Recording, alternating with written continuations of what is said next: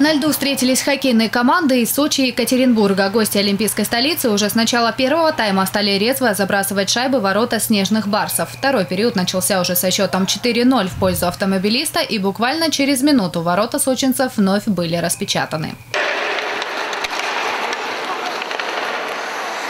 Барсы принимали голы практически от каждого екатеринбуржца, пропустив до конца второго тайма еще 9 шайб. Защита у них так нормальная нападение у них ну, тоже нормально. Но только вратарь чуть-чуть слабоватый. В начале третьей 15 минутки сочинцам все-таки удалось забросить ответную шайбу. Автомобилисты же провели еще пять голов. Итог встречи 19-1. За ходом матча наблюдал и знаменитый арбитр, отсудивший более тысячи матчей в НХЛ Пол Стюарт. Игра юных хоккеистов ему понравилась.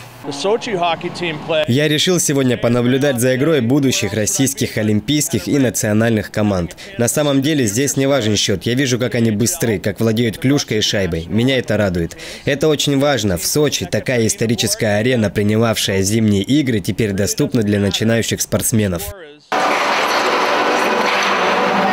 Это уже фигуристки из Тамбова. Занимаются они на тренировочной арене. Некоторые спортсменки с Сочи уже знакомы. 11-летняя Лилия Лавринова часто приезжала сюда отдыхать с родителями, но впервые приехала в составе команды на смену во Всероссийский детский спортивно-оздоровительный центр.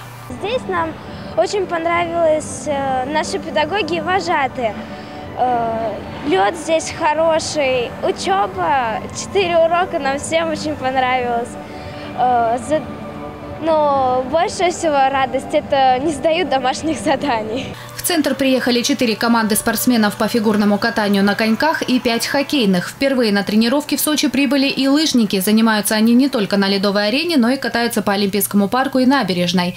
Пятая смена завершится 24 ноября, а уже 1 декабря центр встретит новых 200 спортсменов, в числе которых будут и керлингисты. Татьяна Нагорская, Михаил Дубинин, телекомпания «ФКТ».